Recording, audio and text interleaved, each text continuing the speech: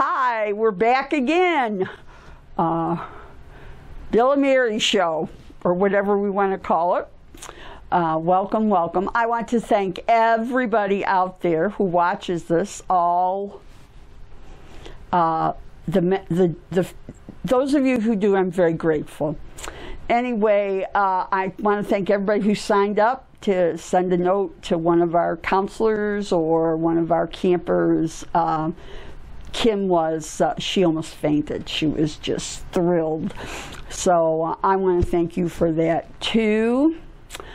Uh, I did forget to announce that um, Mary Rita Jordan is in uh, is in um. Uh, she had not a great time at the hospital with a lot of strokes, and um, she's she's at Solarbron now for rehab. Uh, she said she has a long road to go, so I'm sure a, a note uh, or something to her would uh, would be very appreciated. But she called me on the phone. I'm always, you know, I always think if you can still use the phone, there's hope. So she can still uh, she can still use her phone. So if you want to get in touch with her it's Solarbron. Uh, for those of you who were church Sunday, see, I never know what group this is. Uh, I said something about asking people for ideas about sermons or scripture or questions. I got some. Thank you. I'm going to uh, I'm going to pass out paper again this Sunday, and uh, a couple people have cheated and come to me and and said, "Oh, I didn't write it down, but here it is." So uh, I appreciate all the suggestions. Uh, I I don't know if I'll do all of them, but we'll see. I also said I did that because a lot of times in the summer the scripture is not very uh, inspirational. And of course, I said that on a Sunday before a week where every lesson in the lectionary you could have preached at least one sermon and not more. So I decided I'd, I'd just go with one because I knew no one wanted to be there for five hours. Anyway, uh, I'm going to preach out of Mark. But one of the Old Testament lessons, which uh, I think is, is one of the grand uh, Old Testament lessons that we really don't deal with very much, uh, we all have it in our head what it means, and uh, that's from Genesis, the beginning of Genesis, chapter. We're going into chapter 3. Uh, first of all, uh, to make clear, there are two creation stories in Genesis. Uh, the first one uh, takes up the entirety of uh, chapter 1. In the beginning, God created the heavens and earth, and, and it goes through a, a pretty. Um, a very ordered way of um, of creation. Uh, and at the end it says, let us create. Uh, the word that's used means man and woman. Let us make man, uh, man and woman in our image. And that happens.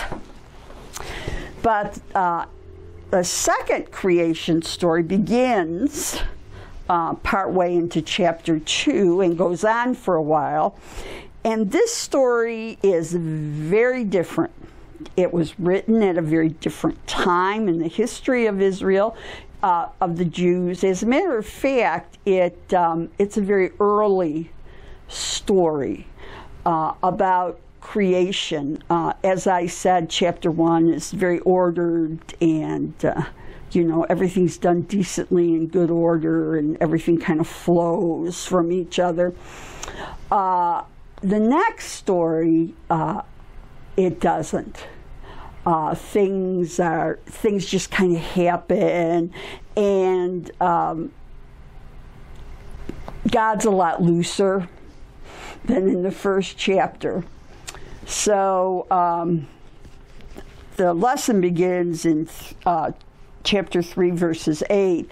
Uh, God, uh, God has done his creating. He has made man out of dirt. Uh, he has created all these animals, and the man says, No, no, no, no, no. And finally, God said, Well, you know, we need to make you an appropriate companion. Uh, and out of his rib, he makes a woman uh, who uh, who ends up being uh, named Eve, though she is rarely referred to as Eve in the second sto- uh, in the scriptures. She's usually uh, referred to as the woman. Uh, there are a lot of women in the scripture that are never named um, because it wasn't seen to be necessary. But we have named her Eve. And so this is the story of them. And uh, God, God goes all out. He makes a garden. It's called Eden. There's just everything in it you could think about. Uh, everything's just growing. It's a really great place. Except, my assumption, I think God set himself up for this, but anyway, there is a tree he says you may not eat from that tree. There they are putzing around and having a good time and enjoying all that God has given them. And uh, out of where we, we don't know where the serpent arrives. Uh, so uh, the serpent arrives. An apple is never mentioned. Okay? It, in all likelihood, it was not an apple. Not good conditions uh, to grow apples in the heat of the mid, mid uh, Middle East. But anyway, uh, the snake comes and has a conversation with Eve and convinces her to eat the fruit. She convinces uh, Adam to uh, eat the fruit. And what I love is what they discover is they are naked. and evidently that upset them. So they made some clothes out of leaves and everything. The lesson for today picks up on the evening of all these grand events. My favorite part is it talks about God walking in the garden with the cool breeze on God's face. So this is a very different story. They heard the sound of the Lord God walking in the garden at the time of the evening breeze.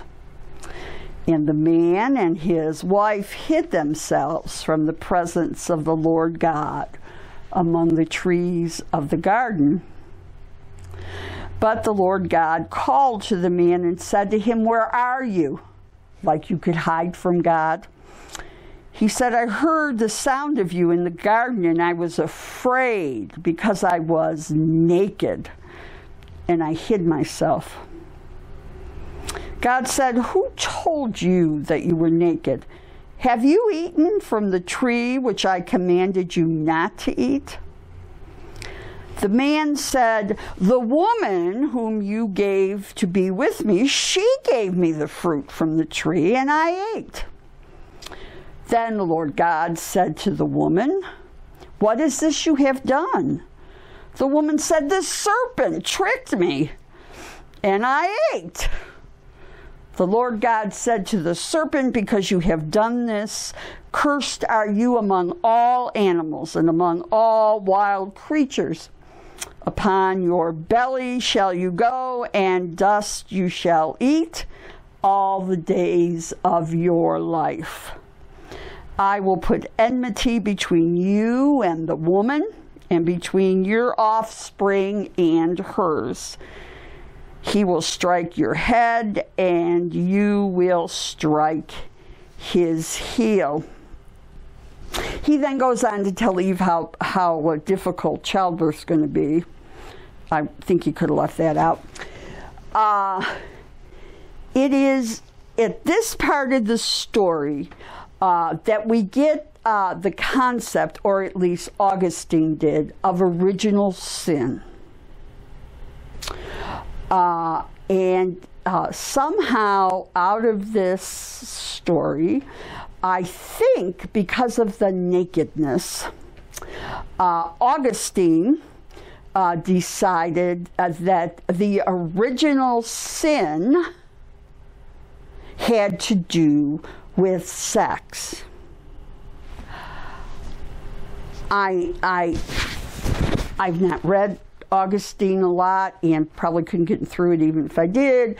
And I've never been clear how he got there, except to say that he was, um,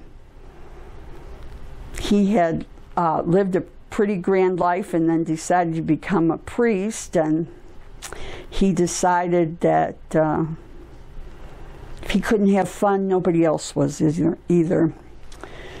And since then, uh, it is a whole uh, original sin is a whole thing that has followed the church, um, uh, has followed people of faith uh, since um, since the beginning. Uh, though it was very much um, Christians who really emphasized this original sin. Uh, I don't get, I don't see that and all that, uh, but it certainly was the impetus for um, Roman Catholics baptized very soon after birth. Um, they now it's now it's different, but initially it was very quickly. Uh, Lutherans, some Lutherans baptize very uh, quickly after birth because of the fear that the child will die and will not go to heaven because the mark of original sin has uh, not been wiped from them. Uh, and a lot of people still believe that's why we baptize children. That's why the church got in the business of baptizing children uh, to save them uh, from uh, from going to hell. Many years ago, I had a young woman in my church and um, Center Point who uh, was pregnant with twins and had difficulty, and finally, uh, I don't know, probably two thirds uh, through the way of her pregnancy, she gave birth. Um, I went over to the hospital, of course, was with the family and was with her um, when it was time for her to be with the twins uh, for the once and only time, everybody left the room but me, and so I went with her. Um, it was uh, pretty devastating. Uh, of course, much more for her. As I left uh, the room after they had gotten her out and taken the babies, uh, the nurse said to me, Are you going to baptize them? And I said, Why? Well, you know, you need to. And I looked at her and I said, No, I don't. I said, There's no. There's no sin in this child. Uh, there is no connection in anything that happened in creation. I didn't say all this to her. I just said no and walked out. Uh, the next Sunday, I did get up in the pulpit and I did say all those things. Uh, that I would not work for a God who condemned babies to hell because they had not been baptized. We are not baptized to save us, to save ourselves from hell. We are baptized because God loves us. and wishes to be even closer to us. Those babies and every baby, and never ever has there been a baby or a child who has been condemned uh, to eternal hell because they were not baptized. And uh, and Eve was not a wicked woman. You will notice that Adam blamed Eve, and Eve blamed the snake. And so human beings have changed very little from the time of creation. We really don't like to take responsibility for our own actions. Uh, if there is an original sin, it is probably that um, our overwhelming need to be greater than God, our overwhelming need to be all we need. And um, that's not what the story says. And so the story is always of our need for God. And um, that is clear. God does not desert them. Uh, they are not allowed to stay in the Garden of Eden, uh, which was east of Eden, a good movie. And, uh, but God never stopped taking care of them either. Um, that's our story till today. God never stops taking care of us. So, um, and it's a good story. Read all of chapter 1, 2, and 3 and 4 and see what goes on. It's a great story. Uh, it's a great way to have to talk about God and, uh, and how we live our lives by what we see of God in stories like this. So, um, I do want you though to be careful of, of, of snakes. Um, and um, because I, I'm not sure I believe God cursed them, but I certainly know they're tricky little critters. And uh, so uh, just be careful. Take care. Uh, I guess we'll do this again next week. Uh, Bye. Love y'all.